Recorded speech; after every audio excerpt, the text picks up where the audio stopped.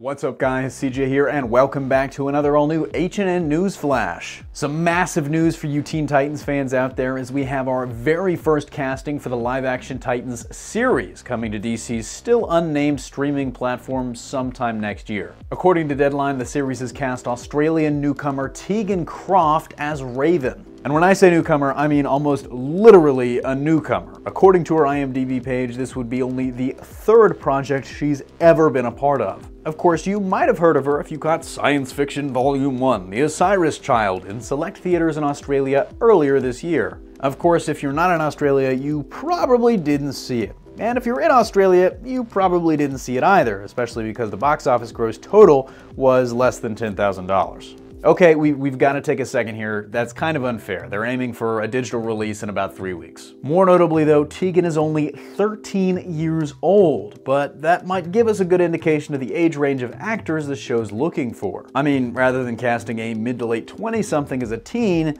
they've cast a literal teenager here. When they said Teen Titans, they meant Teen Titans.